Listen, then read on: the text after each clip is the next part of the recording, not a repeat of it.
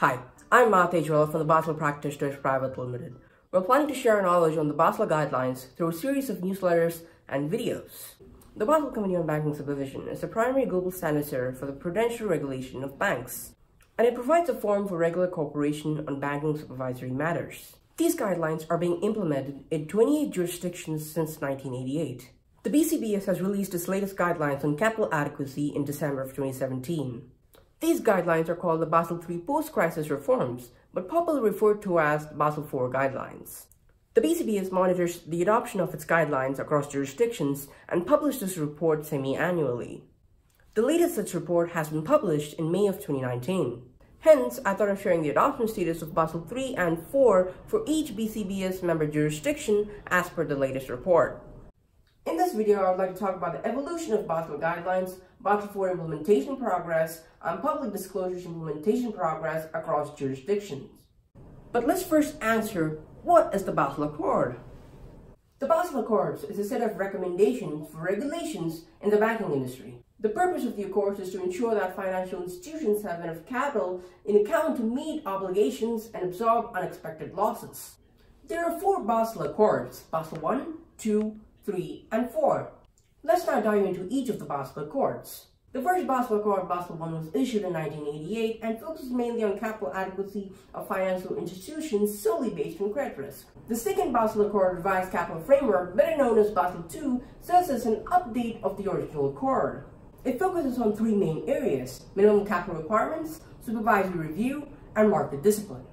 Together, these areas of focus are known as the three pillars. In Basel II specific, capital adequacy is assessed considering credit, market, and operational risk. Basel III was developed in response to the deficiencies in the financial regulation revealed by the financial crisis of 2008. Hence the refinement in capital adequacy framework, stress testing, and market liquidity risk frameworks. It is intended to strengthen the bank's capital requirements by increasing the bank's liquidity, decreasing the bank's leverage, and improving the quality of the bank's capital. In January 2013, the BCBS has published BCBS 239, Principles for Effective Risk Data Aggregation and Risk Reporting.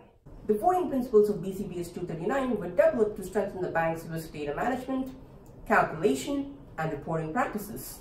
Effective implementation of these principles is expected to enhance risk management and decision-making processes at banks. Basel guidelines address the shortcomings of the numerator part of the capital adequacy ratio along with liquidity issues. And as part of the Basel IV guidelines, the BCBS has planned to address the denominator part of the capital adequacy ratio, in other words, the RWA computations. Over a period of time, Basel guidelines have increased its precision in computing the capital adequacy of banks.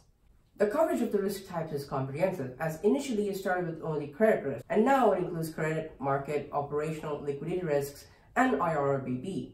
Overall, the Basel guidelines have become more robust in regulating the banks. As of today, BCBS has 45 member comprised central banks and bank supervisors from 28 jurisdictions. Let's now understand the implementation progress of Basel III and IV across these member jurisdictions.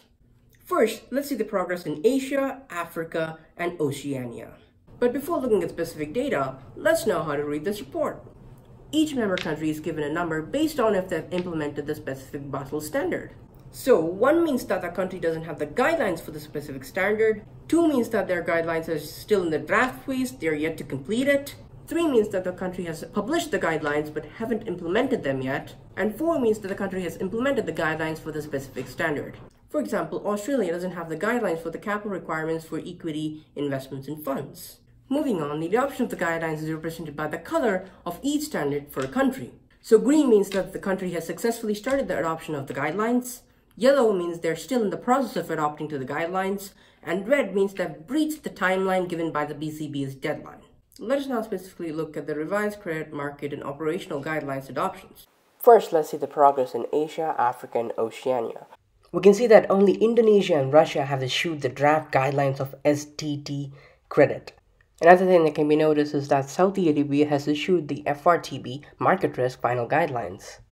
And Indonesia has issued the draft guidelines for operational risk. Let's now analyze any one particular country. Let's use India for example. There's a lot that can be deciphered from this particular data. We can see that adoption is completed for capital buffers, margin requirements for non-centrally cleared derivatives, CCP capital requirements, SACCR, leverage ratio based on 2014 exposure definition, DSIB surcharge, intraday liquidity and large exposures. We can also see that IRRBB is in the process of adoption and India is lagging behind on the adoption of revised security frameworks and TLAC. India also hasn't started the consultation on revised credit, market, and operational risk. Now let's specifically look at the revised credit market risk and operational guidelines adoption for Europe and America. Here we can see that only the European Union has issued the draft guidelines on FRTB.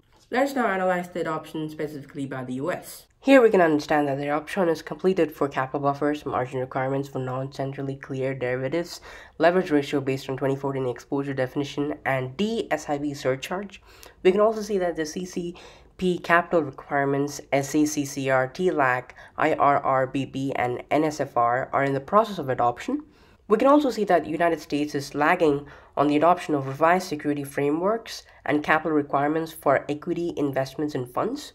And it has also not started the consultation on revised credit, market, and operational risk. Looking at the report, we can expect all of the member countries to release their draft guidelines in Q4 of 2019 or Q1 in 2020 as the adoption timeline is fast approaching. The BCB has released guidelines for public disclosures in three phases. The first phase in 2015, second phase in 2017, and the third phase in Jan 2019.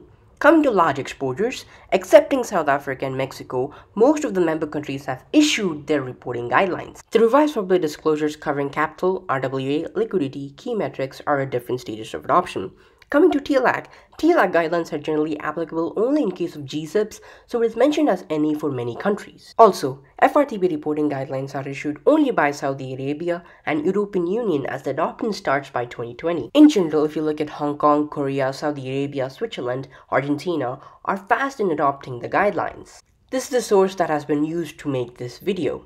If you have any other questions, please feel free to email us and visit our website for more info. Thank you.